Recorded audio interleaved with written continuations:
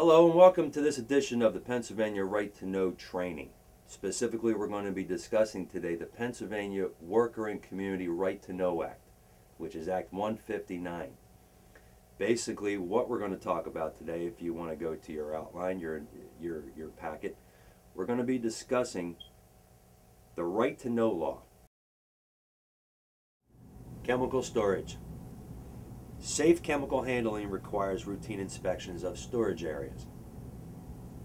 Any concerns such as leaking bottles or chemicals undergoing chemical reaction should be brought to the supervisor's attention immediately.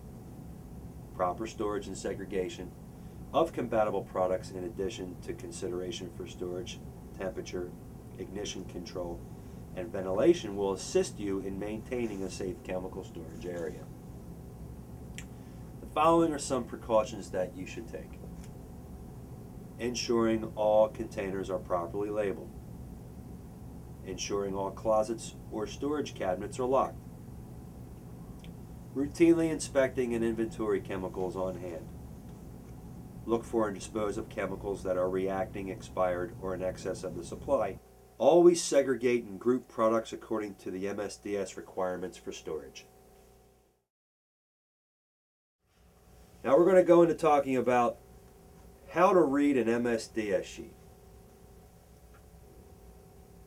The components of the MSDS sheet start with the product name and its physical description.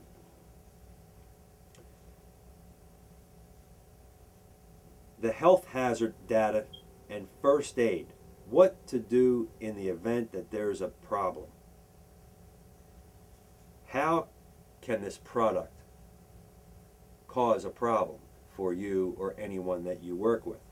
As you can see here, the health data for, for bleach